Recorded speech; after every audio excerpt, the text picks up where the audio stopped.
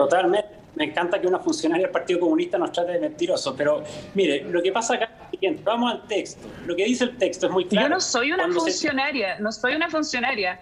Yo soy una militante más, no soy una funcionaria. A mí el Partido Comunista no me paga, yo milito en el Partido Comunista, señora Rau.